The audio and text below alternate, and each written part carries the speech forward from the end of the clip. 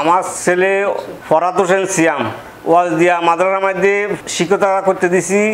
ওইখান থেকে বাইশ তারিখে জোরন নামাজের পরে সে এখান থেকে ভাড়া গেছে। ওইখানে তারে বহুত খোঁজাখুঁজি করছি গোটা সিটিয়াঙ্গে তারে কোনো না না।